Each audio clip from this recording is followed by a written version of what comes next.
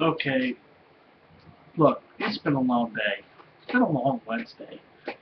I was tired when I got up. I didn't drive into work today because I was working all day from my desk from home. And tomorrow I got to go in. Tomorrow's my Friday. My Thursday is my Friday. tired. I'm so tired. What it is? It's the meds. Never been so mentally exhausted before because of these stupid meds. Keep me alive, but at what cost? At what price? Thanks for listening. You know, you are my favorite.